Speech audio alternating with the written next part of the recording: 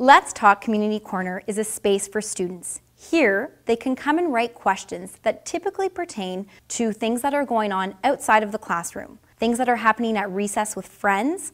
I've actually even had a question before that has been asked around a student who is trying to deal with issues around bullying.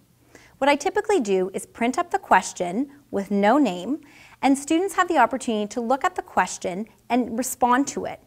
At that point, we sit down together and we look at the responses given by students in the class.